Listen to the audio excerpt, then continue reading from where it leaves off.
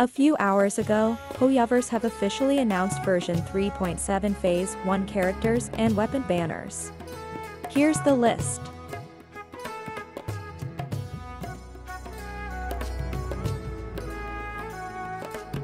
And also version 3.7 Phase 1 limited events and main event dates and details.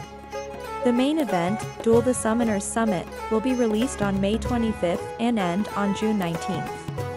After the main event, we will get Divine Ingenuity, the first 3.7 limited event. It will start on June 8th and end on June 29th. Here's the total rewards for the main event and the limited event for version 3.7 Phase 1.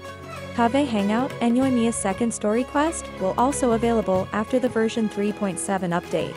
And also the pre-installation function is now available on both PC and mobile. On PC you will need to download 9GB and on mobile is 3.6GB.